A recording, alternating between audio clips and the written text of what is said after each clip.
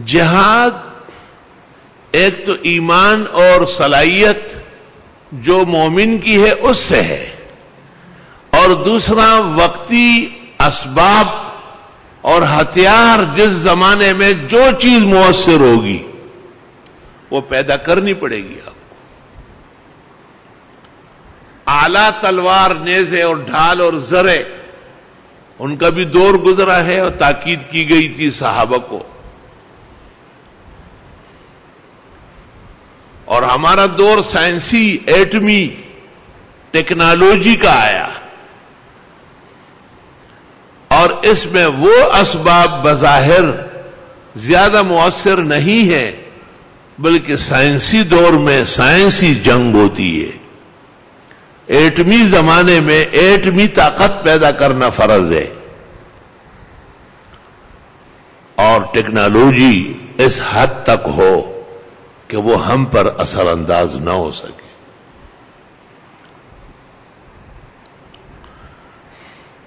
जब ये आयत नाजिल हुई, तफसीरों और हदीसों में है वह आइदुलमस्तवा तुम मिन कुआ कि तैयारी करो इन कुफार के लिए। अलहिम नहीं कहा, लहोम कहा, उनके लिए फ़ायदा है इसमें कि पेट के ईमान ले आए। जो तुमसे हो सके ताकत व तोानाई तो साहबा ने पैगंबर से पूछा, मल कुआ ये कौन सी ताकत है? आपने कहा, हुआ रन यू दूर से मारना। अमरीकी बेड़ा यहाँ समंदर में खड़ा होता है और तोरे बोरे पर मिसाइल बरसाता है। अफसोस, आयत कुरान में नाजिल हुई और समझना मुसलमान का था लेकिन मुलूक सलातीन इस्लाम ने तकरीबन गफलत बरती और अपने फरायज मनसबी का हक अदा नहीं किया। और जो लोग पिटने के लिए आए थे, वो पिटाई पे कादिर हुए।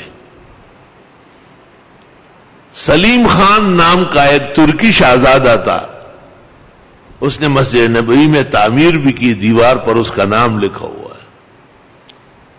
इस सलीम खान शहजादे ने यूरोप के यहाँ पहुंचकर उनका निज़ाम देख लिया था और वापस आके उसने शोर मचाया कि ये कुछ तैयारी कर रहे हैं और हमें घरों में बैठे बैठे मारेंगे।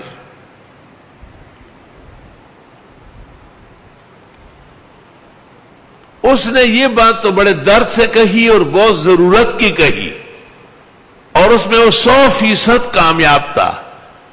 लेकिन उससे दो गलतियाँ हो गई।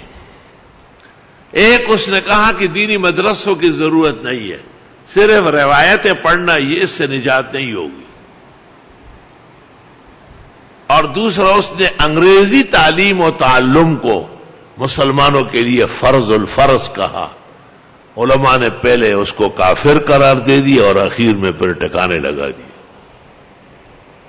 तो इस पर वो मोरद इल्ज़ाम न था कि टेक्नोलॉजी अपनाई जाए मिसाइल बने एटम्स और हाइड्रोजन का निज़ाम अपनाया जाए, बल्कि दो बातें आगे उसने ज्यादती की।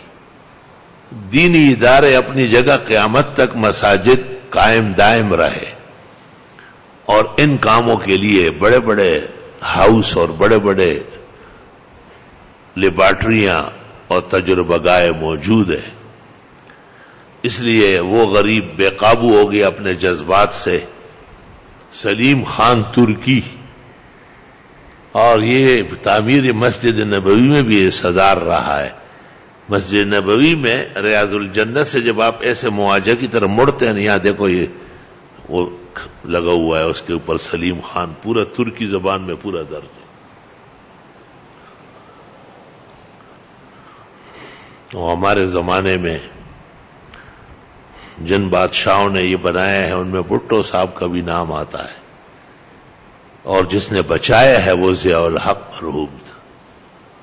और उसने साइंसदानों को फ्री हैंड दिया। और उनको कहा, पूरे खजाना और मैं फोर्स साथ है। बनाओ एटम्स। और सऊदी हुकूमतों ने उनको खर्चे दिए। ये खराजात उन्होंने आज पाकिस्तान, अल्हम्दुलिल्लाह, एटमी ममालिक में से फेरस मुल्क।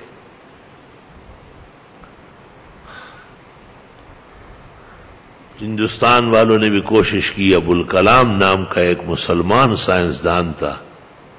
उसने वहाँ एटम बम बनाया और यहाँ अब्दुल कदीर खान और उनके रुफका ने कोशिश की और सौ फ़ीसद कामयाब हुए। अल्लाह हिफाजत फरमाए।